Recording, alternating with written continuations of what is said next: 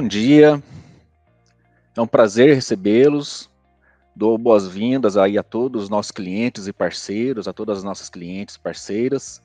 Meu nome é Patrick Lopes, eu estou aqui à frente da equipe que cuida da estratégia e cenários agro do BB Private. Reforço aí as boas-vindas para mais um BB Private Talks. E o tema que nós vamos conversar hoje é sobre a pecuária. Vamos falar um pouquinho aí sobre a conjuntura desse setor, do setor de proteína animal e as perspectivas, principalmente para 2023. Eu convido a todos a participarem, ficarem muito à vontade, enviarem suas perguntas e a gente vai conversando aqui com o nosso palestrante de hoje, que é o Fernando Iglesias. O Fernando, ele é economista, especialista em agronegócios, né? E uma das principais referências do Brasil no setor de proteína animal, analista das safras e mercado, e a gente tem o prazer de receber o Fernando hoje para conversar conosco aí sobre esse tema. Fernando, seja muito bem-vindo, fique à vontade e peço a todos os nossos convidados, todos que estão nos acompanhando, que mandem as perguntas, eu vou passando as perguntas aqui para a gente debater com o Fernando. Fernando, muito obrigado aí.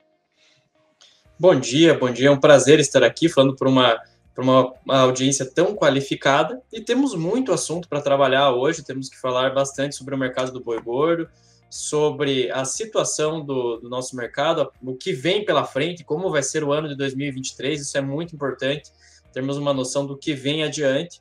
Estamos aí é, diante de uma eleição que vai trazer, vai trazer umas definições muito importantes do que vem pela frente nos próximos quatro anos. Então, estamos num momento bem decisivo em relação a esse ano de 2022 e nessa transição para 2023. Tá? É, Vou começar aqui a nossa apresentação falando um pouquinho da nossa situação econômica de momento. Tá? No, ao redor do mundo, o grande problema que nós temos hoje se chama inflação. Então, as principais economias estão usando a política monetária para conter essa inflação. É, isso é, acontece na forma de alta da taxa básica de juros. A gente percebe isso para as economias maduras e para as economias emergentes. Aqui no Brasil, o ciclo de alta dessa taxa básica de juros. Ela acabou, na última reunião o Copom já sinalizou para manutenção da taxa básica de juros em 13,75 ao ano. Tá? Isso é muito importante, é bem interessante que isso, é, isso é uma sinalização bem interessante. O Brasil tem indicações macroeconômicas é, um pouquinho mais confortáveis em relação a outros países. Vivemos já um período de deflação, tivemos meses de deflação, então isso é bem interessante e justifica essa mudança de comportamento é, do Copom, tá? Em relação ao mercado internacional, nós ainda temos um conflito entre Rússia e Ucrânia que não dá sinal de trégua até o momento. É, temos aí é, os reservistas da Rússia sendo convocados para o conflito.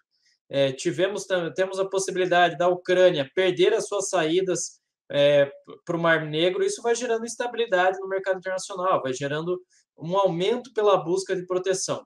Esse é um fator importante que faz com que os fundos e os investidores saiam da renda variável e procurem a renda fixa como um ponto de segurança. Tá? Temos um acirramento das tensões políticas aqui no Brasil em função das eleições. As eleições estão aí no nosso horizonte, estão cada vez mais próximas e isso vai gerando volatilidade nos mercados. Ano eleitoral no Brasil sempre gera volatilidade. Em 2022 isso não seria diferente, tá?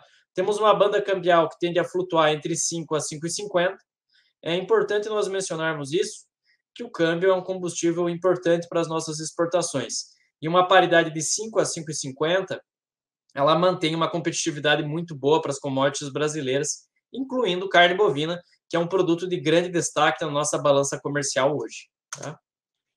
Aqui um gráfico é, em relação ao câmbio, é, mostrando aqui que o real está operando um pouquinho desvalorizado no decorrer dessa semana, trabalhando aí na, na a, acima de 5,30.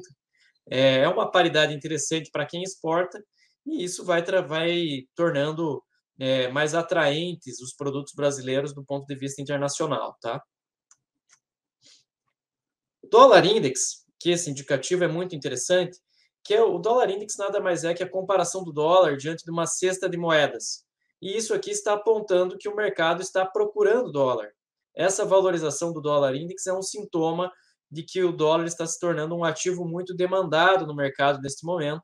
É, um, é uma receita de segurança em momentos de é, adversidade, existe um risco de recessão no hemisfério norte, Então, tudo isso faz com que os fundos e os investidores aumentem a sua busca por proteção.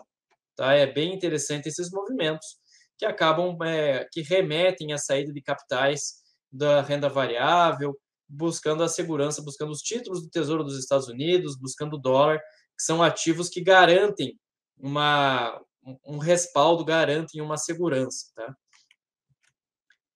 Aqui temos a, a taxa básica de juros em relação às economias emergentes, é só para demonstrar realmente como a taxa básica de juros ela vem sendo adotada para conter a inflação. É, quero destacar aqui que, houve, que tivemos movimentos recentes é, na Índia, no México, na África do Sul, mas eu queria citar aqui que a China está indo na contramão desse movimento. Por que, é importante nós posicionarmos a China? A China, em vez de subir a sua taxa básica de juros como os outros países, ela está cortando seus juros. Isso é importante porque há uma tentativa do governo chinês em reativar sua economia após aqueles lockdowns que nós vimos ali no durante o primeiro semestre.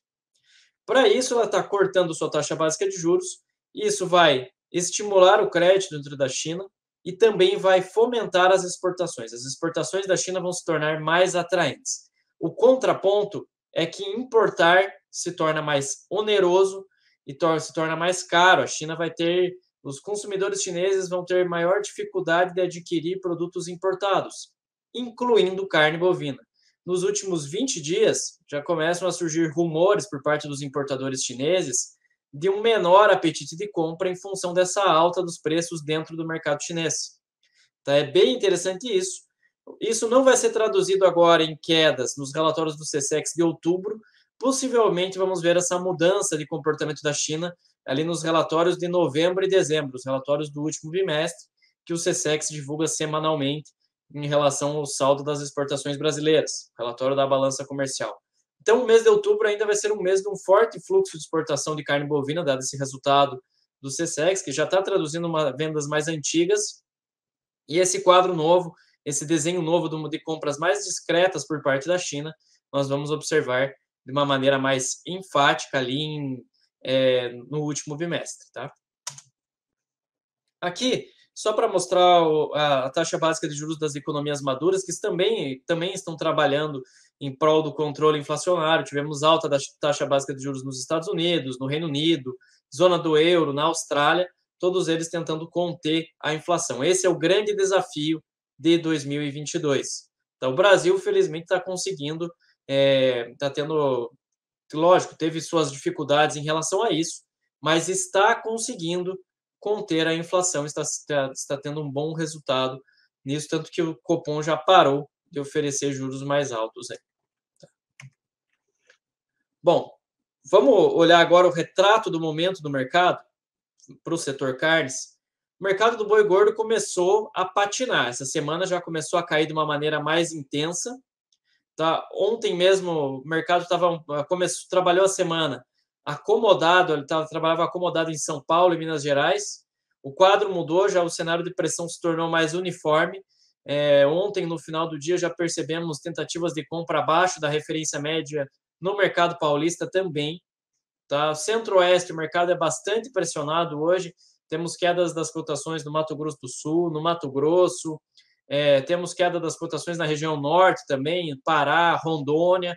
Então, a queda dos preços, a gente termina setembro com o mercado trabalhando novamente pressionado na arroba do boi gordo. Os preços do frango vivo, os preços da suinocultura estão em queda também. Os preços das proteínas concorrentes acompanharam esse movimento do mercado do boi e estão recuando. Tá? Temos aí uma, uma demanda doméstica que tende a apresentar um bom ritmo no último trimestre, as exportações vão seguir em bom nível, e isso nos leva a crer que haverá algum espaço no final do ano para recuperação dos preços. Para outubro, diante desse cenário que os frigoríficos voltaram a exercer pressão no mercado, vai ficar um pouco mais complicado de nós observarmos movimentos mais consistentes de alta. Mas para novembro e dezembro, dado o auge da demanda doméstica, por mais que a China tenha essa tendência de cortar um pouquinho a importação de carne bovina, o fluxo tende a seguir favorável, existe uma perspectiva, sim, de uma recuperação dos preços. Não esperem cotações muito arrojadas, como os 340, 350 que a gente já viu esse ano. É muito difícil que isso volte a acontecer, mas cotações ali trabalhando acima dos 300 reais em São Paulo são possíveis nesse ambiente de boa demanda. Tá? Agora, é, a situação fica um pouco mais delicada para a gente ver uma renovação das máximas no mercado do boi. Tá?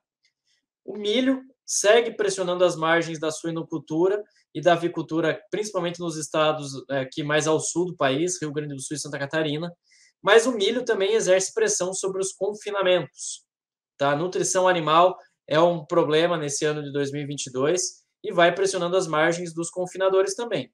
Tá? A dificuldade adicional é essa. Estamos no momento em que as chuvas começaram a se intensificar e com chuvas a retenção dos confinamentos fica ainda mais complicada. Tá? Uma dificuldade adicional na retenção dos animais, nesse caso. Molhou o coxo, fica mais difícil ainda segurar. Fora que a margem já está apertada para os confinadores. Então, basicamente, é, se você é, mantém esse animal ali no confinamento, mesmo em condições normais, é um dia a mais de custo de nutrição animal, é um dia a mais de diária de boitel. Então, é complicado você manter, segurar, essa, né, fazer essa retenção com a margem cada vez mais apertada. Então, né, acaba se tornando um cenário bem desafiador para quem tem animais para entregar neste momento. Bom, agora efetivamente precisamos falar do cenário delimitado para 2023. Tá, vamos. O IBGE mostrou os números em relação ao rebanho de bovinos do Brasil. Tá? Temos aí indica, é, indicativo do ano passado que o rebanho atingiu 224 milhões de cabeças. Tem alguns fatores que levaram a esse crescimento do rebanho.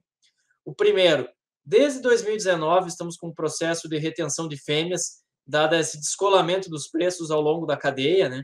É, desde o preço do boi gordo, passando pelo boi magro, pelo bezerro, todas as categorias apresentaram um consistente movimento de alta em 2019, 2020 e até mesmo no ano passado, até aquele embargo que a China impôs.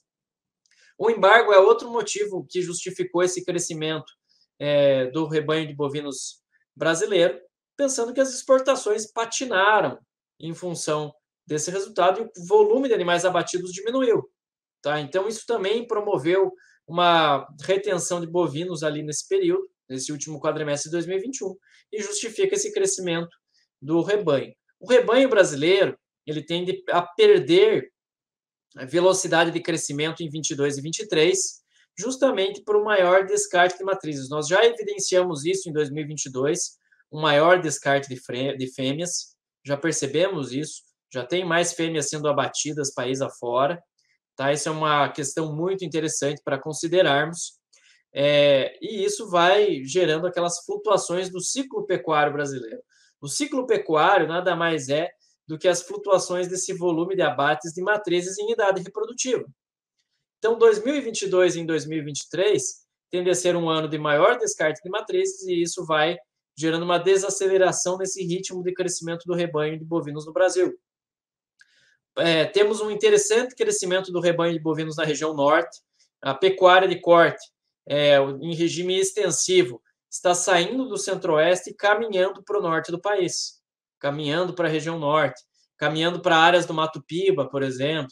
Temos um avanço interessante dos rebanhos de bovino no Pará, no Tocantins. Então é muito interessante pontuarmos isso. E como o regime hídrico nessa região do país, na região norte, que chove regularmente o ano inteiro, permite uma criação em regime extensivo, permite um desenvolvimento da pecuária de corte de uma maneira bem interessante ali na região é, oferecendo é, uma, uma perspectiva bem interessante. É um cenário que nós vemos ao longo dos últimos 20 anos, em que a pecuária vai perdendo espaço, as áreas de pastagem vão diminuindo na região centro-oeste, perdendo espaço para outras culturas, exemplo do milho, do algodão e principalmente a soja, e vai caminhando em direção ao norte do país. Aqui, é, queria mostrar para vocês o avanço do volume de abates para 2023. Temos eh, já uma perspectiva de crescimento em 2022. O Brasil deve abater aí mais de 32 milhões de cabeças esse ano. Tá? E temos também a estimativa de crescimento dos abates para 2023, quando o Brasil deve abater 33,6 milhões de cabeças no próximo ano. Esse volume de animais abatidos, esse aumento do volume de animais abatidos, é justamente é, é, está a ver aí, tem a ver com esse aumento do abate de matrizes, o aumento do descarte de matrizes e também pelo aumento da capacidade produtiva da pecuária de corte brasileira. O pecuarista brasileiro fez maciços investimentos dentro da sua propriedade, investiu muito em genética, investiu muito nas técnicas de manejo, é, melhorou a rotatividade das pastagens, trabalhou com uma nutrição animal de qualidade, e isso fez com que a pecuária de corte brasileira tivesse um ganho produtivo enorme. A produtividade média hoje da pecuária de corte brasileira, ela não deixa a desejar em, na comparação com nenhum país do mundo. Tá? Temos aí uma genética muito bem desenvolvida para atender às necessidades do país, de acordo com a região, de acordo com o nosso clima. Então, hoje, o Brasil é uma potência dentro desse mercado, e esse ganho de capacidade produtiva que nós temos hoje também vai ser traduzido em aumento do volume de abates. Nada mais natural do que isso. É, esse ano de 2022 já há uma, uma maior disponibilidade de bezerro, de boi magro no mercado, e ano que vem a mesma coisa. Vamos ter aí um aumento da disponibilidade de bezerro, de boi magro. Isso é muito interessante, porque também representa um barateamento do custo para aquele pecuarista que é focado na terminação, focado na engorda. Tá? A gente sabe que dentro da pecuária, o principal custo é a reposição. É o bezerro, é o boi magro, e isso é muito interessante que esteja acontecendo essa queda dos preços também desse principal custo dentro da cadeia, porque é, na, esse volume de animais abatidos vai resultar num aumento na produção de carne e dos demais derivados do abate. Isso quer dizer que potencialmente a curva de preços no próximo ano ela tende a ser menor na comparação com esse. Mas essa queda de preços, essa queda das cotações para 2023, não representa é, não representa uma perda de margem, desde que acompanhada da queda dos custos. Tá? É, temos aí também o Brasil mantendo a liderança das exportações de carne bovina. O Brasil vai seguir líder nas exportações de carne bovina por mais um ano. Eu vou abordar bem essas questões mais adiante, quando eu falar do cenário internacional. Tá? É bem interessante pontuarmos essas questões em torno das, das exportações de carne bovina. Temos uma, uma dinâmica em que o Brasil hoje desponta como a melhor alternativa de fornecimento de carne bovina em escala global. Tá? Ano que vem o Brasil deve produzir mais, deve haver um aumento de disponibilidade interna. Então, hoje, a carne bovina está distante da realidade da maior parte das famílias brasileiras. Ela tende a voltar ao cardápio da população em função desse aumento da disponibilidade interna com preços mais acessíveis. Tá?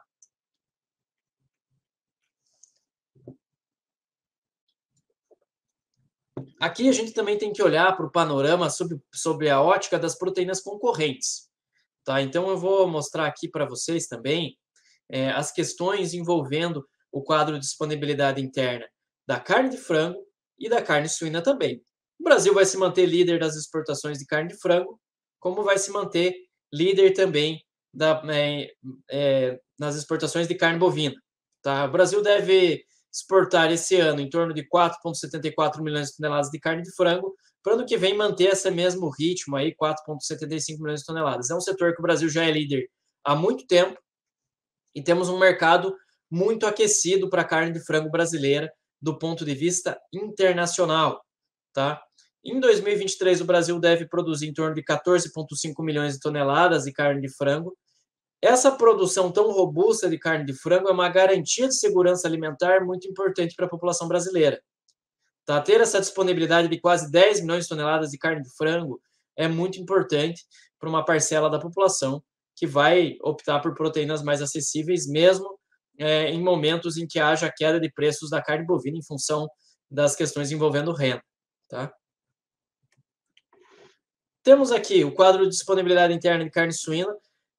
Aqui a suinocultura brasileira é muito importante eu reforçar isso, que ela está em crise em 2022 e tende a atravessar um primeiro semestre de 2023 extremamente desafiador, principalmente no abastecimento de milho aqui na região sul. Temos aí uma projeção de exportações de mais de um milhão de toneladas no próximo ano. O Brasil não é líder de embarques nesse segmento. Estamos atrás da União Europeia, dos Estados Unidos em embarques de, em exportação de carne suína, tá?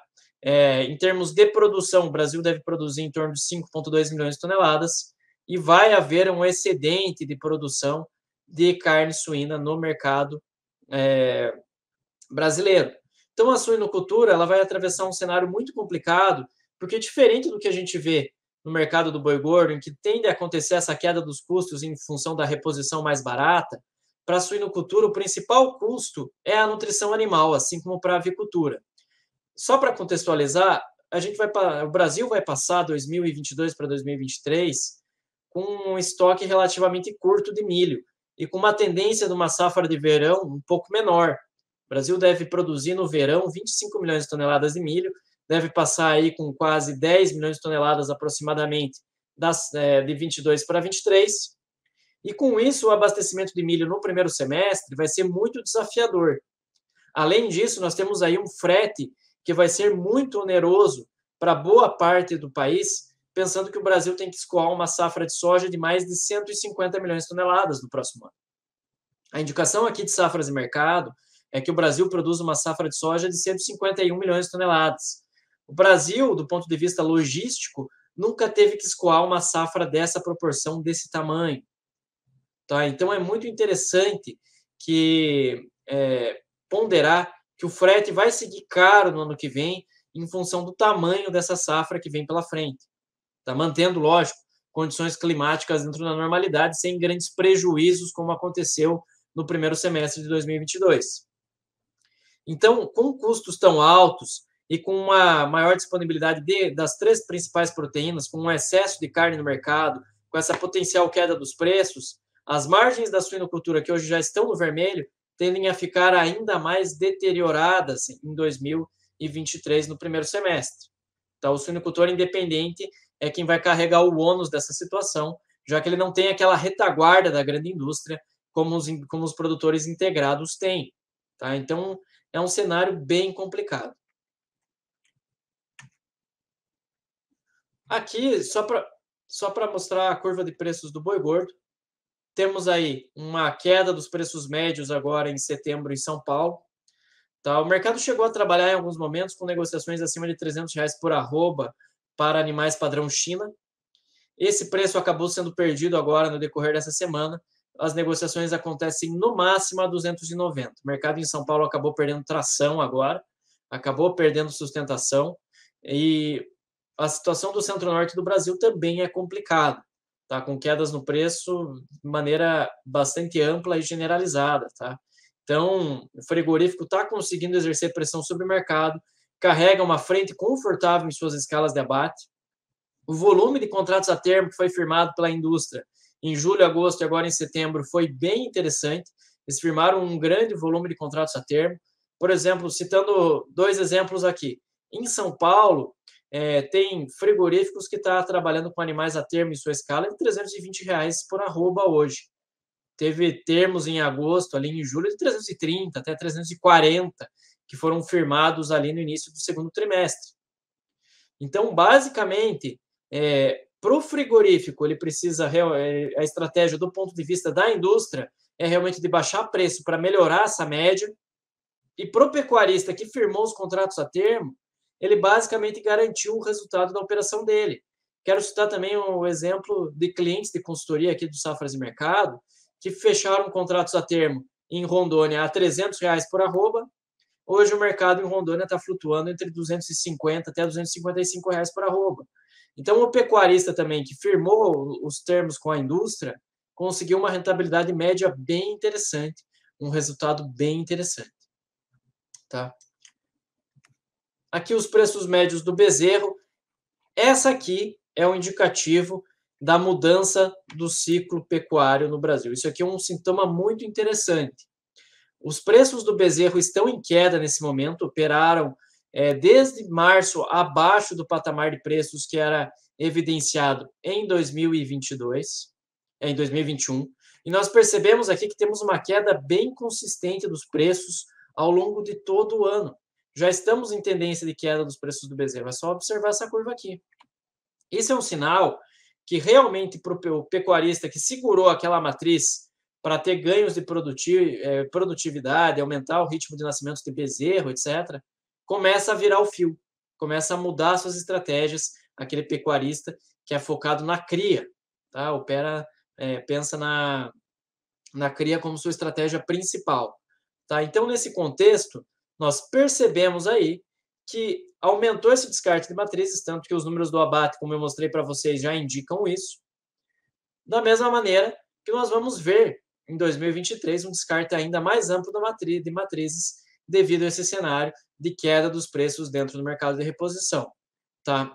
Isso vai gerar efeito de médio e longo prazo, esse maior descarte de matrizes. Basicamente, nós vamos evidenciar uma maior, uma nos, lá para 2025, 2026, uma maior, menor ritmo de nascimentos de, de animais e com isso vai se formar aquele cenário, aquele ambiente em que o ritmo de nascimentos não acompanha a demanda por reposição e os preços vão voltar a subir com uma maior naturalidade dentro da cadeia pecuária, dentro do mercado de reposição, e isso vai influenciar o comportamento nos próximos anos, tá? Então, tem que ficar atento que as ações que são tomadas hoje dentro da cadeia pecuária vão trazer efeitos de médio e longo prazo por conta dessa característica do ciclo pecuário.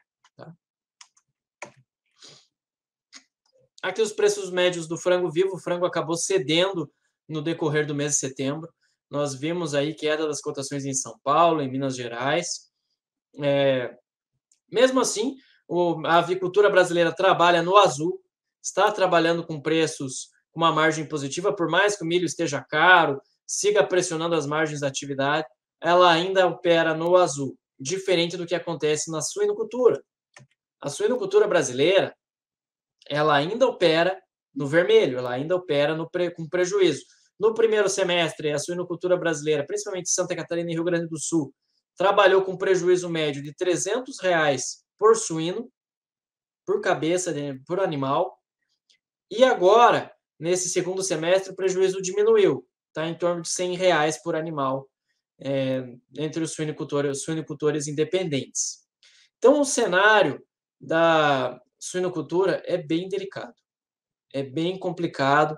A suinocultura inspira muitos, muitos cuidados, porque é diferente da carne de frango e da carne bovina, que as exportações vão muito bem, a carne suína está patinando nas exportações hoje, está tendo maior dificuldade de escoamento dessa produção. Está sobrando carne suína agora.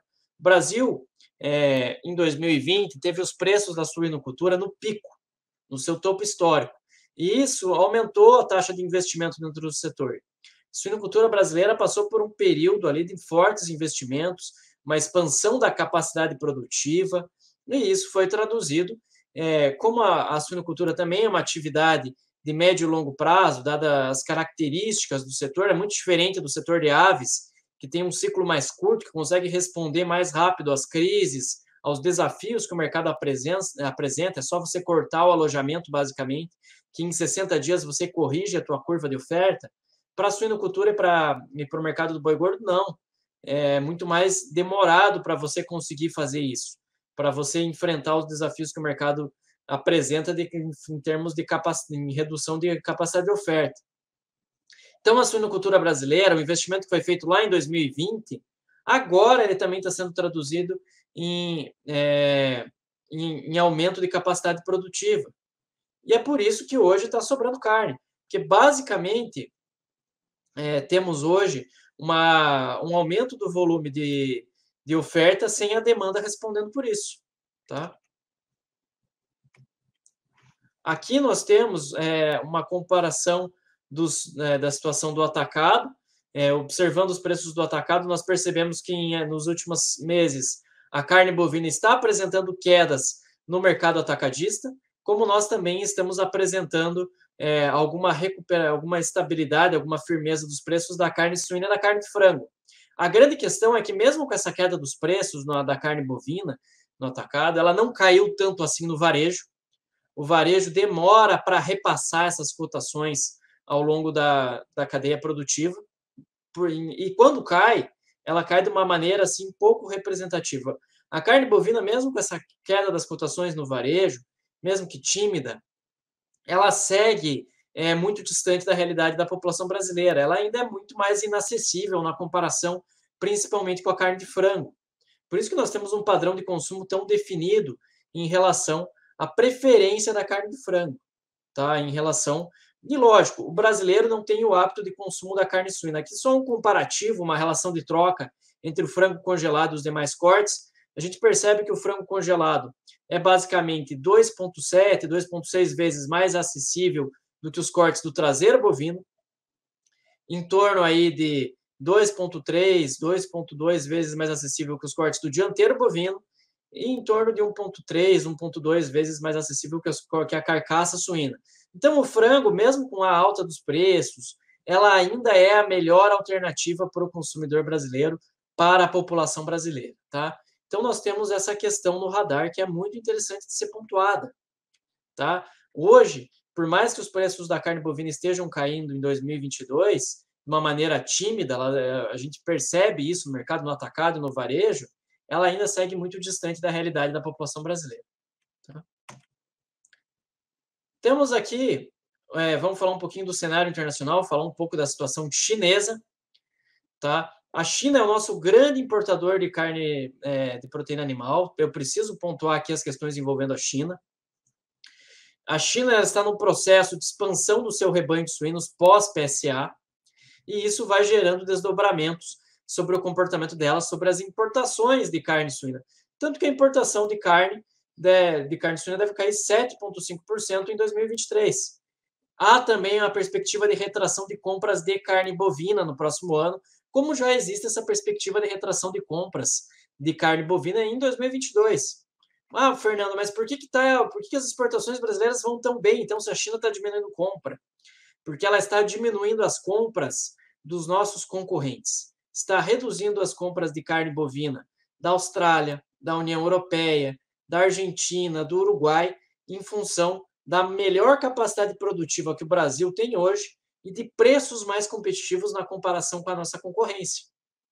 E aqui, mais uma vez, reforçar: a política monetária hoje que está vigorando na China tende a impactar nas exportações, nas importações e nas, nas exportações brasileiras de commodities, tá? A China hoje ela é um grande importador de carnes, carne suína, carne de frango, carne bovina, do complexo soja, minério de ferro, de algodão. Então, as decisões que a China toma na política monetária vão trazer impacto sobre o agronegócio brasileiro, por, pra, com, por conta dessa capacidade de compras que a China tem. Tá? Aqui mostrando o quadro de oferta e demanda da China em relação à carne suína. Percebemos que a China tende a ampliar sua produção nos, em 2022 e em 2023, aqui dados do USDA, tá? É, o consumo vai crescer também, o consumo não para de crescer dentro da China, a população chinesa está em expansão, é uma economia que está fomentando a sua demanda doméstica hoje, e temos aí também importações declinantes, tá? Temos também uma estimativa de crescimento das exportações de carne suína, tamanho, aumento da produtividade média dentro da suinocultura chinesa, tá? Mas o nosso foco aqui, vamos dar uma é, olhar aqui os números do rebanho rebanho de suínos na China está em expansão. Por que, que eu estou mostrando aqui números sobre suinocultura chinesa?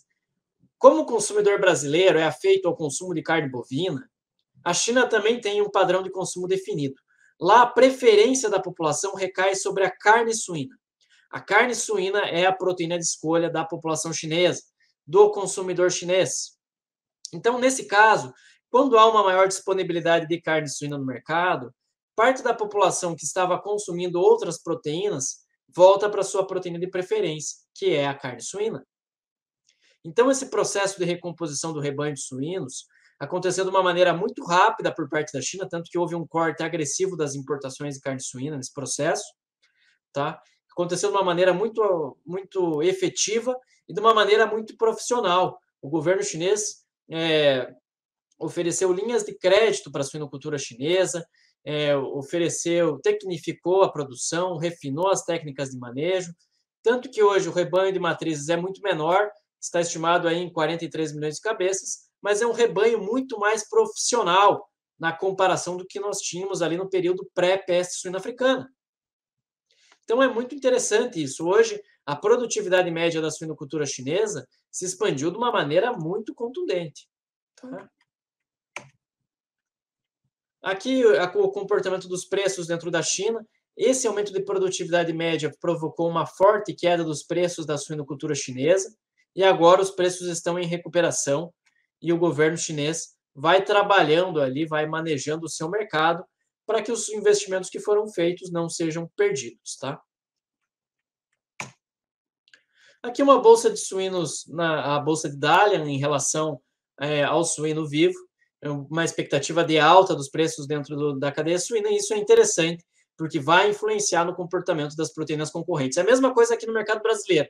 Preços da carne bovina em alta acaba elevando os preços das proteínas concorrentes. Preços da carne suína em alta vai elevar os preços da, das proteínas concorrentes dentro da China, tá? Gente, aqui para dar uma noção para vocês de como é caro a carne bovina dentro do mercado chinês. É, a carne bovina hoje ela está né, direcionada a um nicho de mercado, tá? É um mercado mais nichado. O que, que acontece? Nós temos ali uma carne bovina custando aí em torno de 87 yuans por quilo. Isso vai dar 12 a 13 dólares um quilo.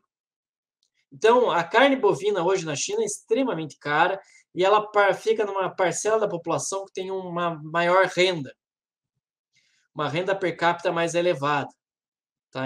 Ficou num, num, num segmento do mercado mais nichado. Tá?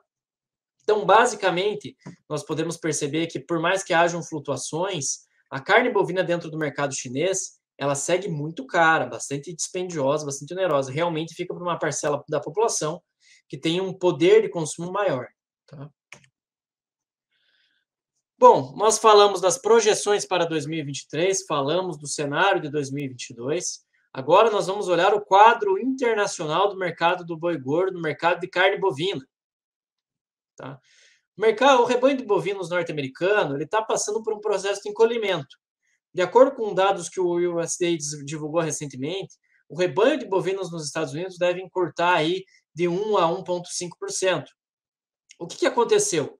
Nós temos ali é, uma, uma situação que a pecuária de corte nos Estados Unidos ela é prioritariamente intensiva. Aqui no Brasil, nós temos uma grande vantagem, que é o regime extensivo. O, o, pecuarista brasileiro ele tem esse privilégio de trabalhar com uma, uma grande, uma enorme área de pastagem no país. O norte-americano, o produtor europeu, não tem essa, essas, é, o regime extensivo como aliado. Tá? Eles trabalham com, uma, com um regime de terminação intensivo, em confinamento. Nesse caso, a elevação dos custos de nutrição animal, nós percebemos que os preços da Bolsa de Chicago, né, para milho, para soja, são muito elevados. Isso encareceu a nutrição animal nos Estados Unidos e acabou afetando as decisões do pecuarista norte-americano.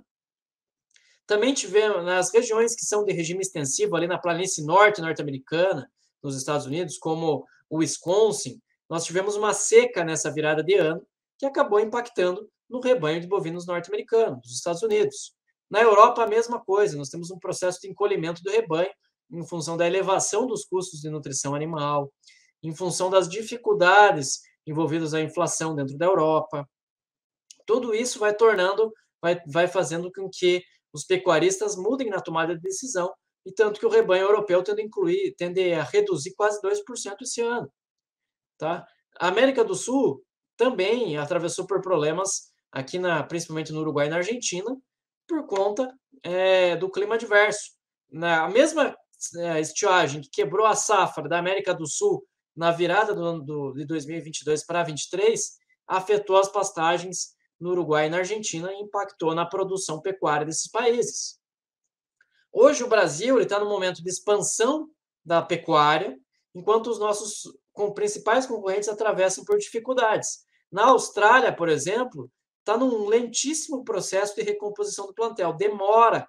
Né? Tipo, a, a pecuária de corte australiana sofreu graves reveses em 2019, em 2020, em função do clima adverso, e está demorando a se recuperar. Só para nós compararmos aqui, uma roupa de boi gordo no Brasil está custando em média 55 dólares, nos Estados Unidos 75, no Uruguai de 63 a 64, na Argentina de 65 a 66 dólares, na Irlanda 73 a 74 e na Austrália mais de 100 dólares por arroba. Então o Brasil hoje tem a carne bovina mais competitiva em escala global. os preços estão inflacionados aqui no mercado brasileiro, mas também estão muito inflacionados no mercado internacional. Tá? Aqui o quadro de oferta e demanda. Nós percebemos que a China está, é, olhando os números de 2022 ainda, tá? está aumentando a sua produção de carne bovina esse ano, aumentando em 4%, mas de qualquer maneira, nós temos aí um cenário em que as importações também estão crescendo esse ano, devem declinar no próximo, deve haver uma redução dessas importações no próximo. Tá? A China vai comprar menos e já está comprando menos dos nossos principais concorrentes. A China concentra muito as suas compras aqui do mercado brasileiro. Aqui, como eu mencionei, as quedas de produção no mercado norte-americano, o mercado dos Estados Unidos está exportando um pouquinho a mais, discretamente, só não, não cresce mais essas exportações do mercado norte-americano, justamente por esses problemas do rebanho dos Estados Unidos e dessa necessidade que os Estados Unidos têm de atender o seu enorme mercado doméstico. Então, o mercado norte-americano é gigantesco, é a principal economia global, então há uma necessidade. Tanto que, que hoje os Estados Unidos desponta como o segundo, segundo grande importador de carne bovina brasileira. Tá? Aqui vamos olhar o panorama dos nossos outros concorrentes. A Austrália é, está expandindo aí a, a, sua produção, vai produzir um pouquinho a mais esse ano, mas de qualquer maneira é, é lento o processo de recuperação da pecuária de corte australiana, tá? É, temos aumento do consumo doméstico também na Austrália, as exportações em leve crescimento esse ano e a, o mercado australiano sofrendo com os preços muito altos, tá? a União Europeia, num, num ambiente muito difícil, até está expandindo suas exportações, mas as importações dispararam em função da queda da produção, tá? E aqui tem uma situação bem interessante que a gente precisa pontuar. Antes, aqui nesses números da União Europeia, o Reino Unido não estava sendo contabilizado porque ele era país membro. Agora as exportações aqui, é, as importações ampliaram bastante por conta dessa mudança de dinâmica com o Reino Unido. Por isso que as importações cresceram quase 15%, que agora o Reino Unido está sendo considerado como país de fora do bloco por conta do Brexit. Então, esses números de importação da União Europeia cresceram tanto em função dessa mudança de dinâmica com o Reino Unido. Tá? Aqui vamos dar uma olhada na balança comercial brasileira de janeiro a agosto, um resultado espetacular nas exportações de carne bovina temos um desempenho extremamente positivo. O Brasil está é, batendo recorde atrás de recorde em termos de exportação. Temos uma arrecadação que foi de quase 1,35 bilhão de dólares em agosto, o melhor resultado da história, tanto em volume quanto em receita, foi em agosto de 2022, tá? O Brasil tem um crescimento aí espetacular em termos de volume e mais ainda em termos de receita. Temos aí 8 pontos, mais de 8,7 bilhões de dólares arrecadados em vendas diretas de carne bovina. Carne suína apresentou queda do seu volume exportado esse ano, em função da perda de mercado nessa recomposição do rebanho de suínos na China. Temos aí uma carne de frango que se expande rapidamente também.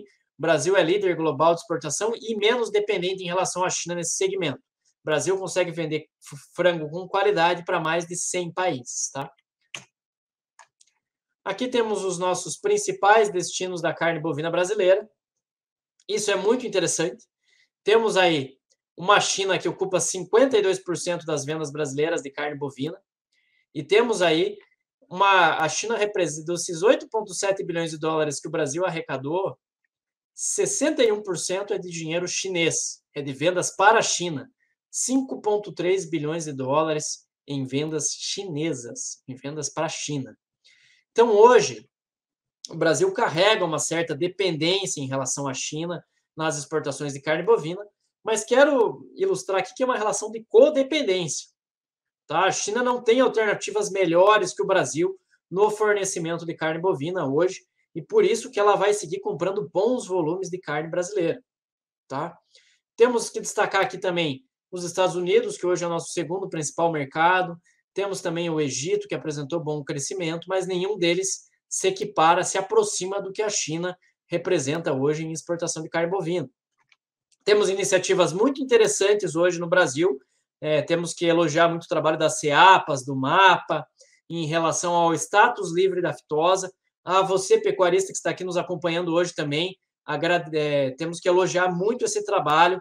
Não é um trabalho simples você conseguir uma área livre da aftosa num país com a dimensão que o Brasil tem, com o tamanho de área de fronteira que o Brasil tem hoje. E isso é muito importante, vai oferecer grandes oportunidades ao Brasil até 2030 em relação a outros mercados, exemplo de Japão, exemplo de Coreia do Sul, são mercados importantes que podem nos ajudar a reduzir essa dependência em relação ao mercado chinês. O Brasil também busca um alinhamento com as leis ambientais, com as normas ambientais, para atender mercados exigentes, como é o mercado europeu.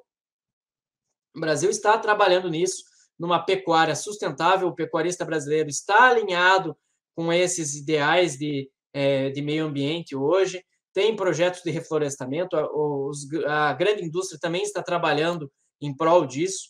Há um trabalho para ser, ser realizado até 2030.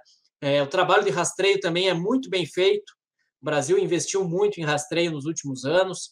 Então, a carne bovina brasileira, vocês podem ter certeza que ela não virá né, até 2030, ela será cada vez menos de áreas de desmatamento.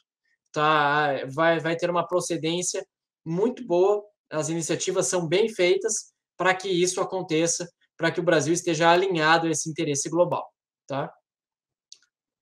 Essa era a apresentação que eu tinha para mostrar aqui hoje para vocês. Vamos chegar à nossa conclusão agora. Tá? Esse, é, essa, esse resultado das exportações vai aumentando o abismo na formação de receita entre o frigorífico exportador e aquele que opera só no mercado doméstico. Tá? Isso, no médio e longo prazo, pode remeter a questões de concentração de mercado.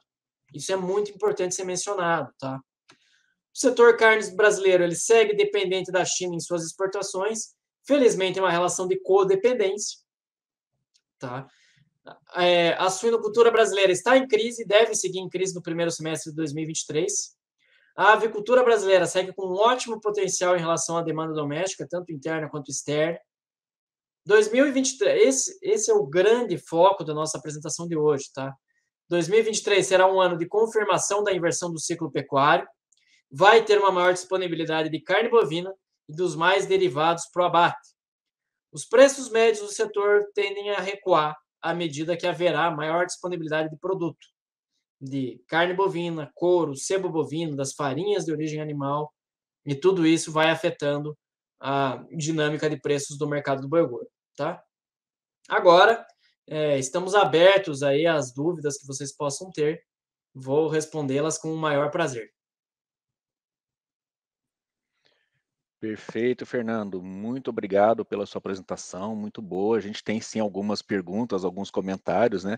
É, eu queria é, reforçar aqui, inclusive, uma, um ponto que você já levantou, que alguns clientes também levantaram, né? Da importância de a gente destacar, né? De que essa pecuária que vem crescendo tem que ser uma pecuária sempre muito sustentável, né? Muito responsável. O Banco Brasil também reafirma o compromisso aí sempre com o crédito responsável e sustentável. Essa é a nossa preocupação, a gente tem isso como premissa. É, um outro ponto também interessante, Fernando, é, em relação à comercialização. Você falou que alguns clientes, né, algum, alguns produtores fizeram contratos a termo com os frigoríficos. Os produtores também podem utilizar é, estratégias de mercado financeiro, como derivativos, o NDF de mercadoria opções, como estratégias também para prote proteger o preço e, e, eventualmente não ter que ficar preso a um frigorífico? Como que você vê essas estratégias para proteção de preço? Os pecuaristas não só podem, como eles devem fazer isso. É muito importante que eles tomem esse tipo de medida protetiva. Hoje, como eu já mencionei, é, o pecuarista brasileiro investiu bilhões e bilhões de reais dentro da propriedade, genética, não poupou esforços para essa revolução zootécnica que o Brasil experimenta hoje. Então, ele precisa proteger esse investimento que foi feito. E a garantia de preço é exatamente uma dessas premissas. Então, você fazer operações no mercado futuro, seja é, via contratos a termo, seja usando opções, é, também é muito interessante para você garantir o melhor resultado possível para o seu negócio. Tá? Ter um entendimento da sua estrutura de custos, ter um entendimento muito claro do comportamento de mercado, buscar essas informações que são muito importantes para a tomada de decisão. Agora, se você é um pecuarista que, por exemplo, firmou contrato a termo junto à indústria, você também pode participar de eventuais altas ali no meio do caminho com as ferramentas do mercado financeiro também. Nada te proíbe assim, se você firmou um contrato a termo para entregar animais agora em setembro outubro, você participar ali na, na B3 é, e par participar de eventuais altas que aconteçam no mercado. Perfeito, perfeito. E olhando para 2023, você acha que agora seria um momento do pecuarista eventualmente já, já, já proteger alguma uma parte ali da, da, da produção dele para proteger esse preço de 2023? Eventualmente teríamos uma queda em 2023 esse preço? Já seria interessante estar travando alguma coisa? Como que seria uma estratégia interessante aí para pensando já na receita de 2023? Legal, legal. É, em 2023 é muito interessante ponderarmos que realmente vai ter uma maior disponibilidade de, de produto no mercado e isso vai forçar uma queda dos preços. O pecuarista tendo em mente isso, sabendo da sua estrutura de custos, o que ele pode fazer é se proteger efetivamente de uma queda das cotações, principalmente no segundo trimestre. É aquele período do ano em que as pastagens vão perdendo qualidade e vão perder, e o pecuarista perde capacidade de retenção. Tradicionalmente, o segundo trimestre do ano é aquele período em que as mínimas dos preços são registradas. Então, já tendo isso no horizonte, já fica mais fácil de você tomar decisões em relação às ferramentas de proteção que são necessárias ali para você se proteger desse tipo de queda. Perfeito. A gente teve mais uma pergunta aqui, Fernando, que fala em relação ao consumidor de carne. A gente pode esperar ainda um, eventualmente uma, um aumento de preços até o fim do ano, em virtude aí de Copa do Mundo, em virtude de fim de ano. Pode ter aí um, eventualmente uma elevação do preço para o consumidor final e, obviamente, isso poderia puxar um pouquinho o preço da arroba para cima também? Sim, a gente tem essa perspectiva de crescimento dos preços do atacado, do varejo, durante o último trimestre, mas para que o preço do boi gordo suba, acompanhe esse movimento de alta das carnes e dos demais produtos do, derivados do abate, é necessário que haja basicamente um encurtamento das escalas de abate dos frigoríficos. Sem essa redução das escalas de abate, fica mais complicado.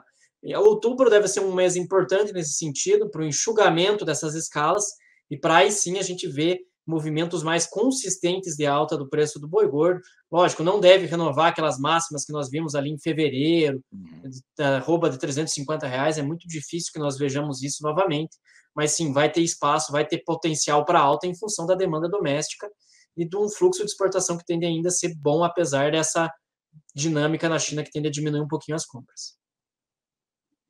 Perfeito. Eventualmente acontecendo algum repique de preço, aí seria um momento interessante para estar tá entrando e, e, travando esses preços, né? Aproveitando esse momento, né? Sim, com certeza. Fernando, a gente teve uma pergunta aqui também, é, em relação hoje, qual que seria a, a, dependência nossa em relação à China? Se seria muito grande, se eventual embargo impactaria demais o nosso mercado? Como que você vê hoje, pensando um pouco mais no longo prazo para a pecuária brasileira? Há uma dependência muito grande das compras chinesas ou a gente tem começado a diversificar um pouco mais a nossa pauta de exportação?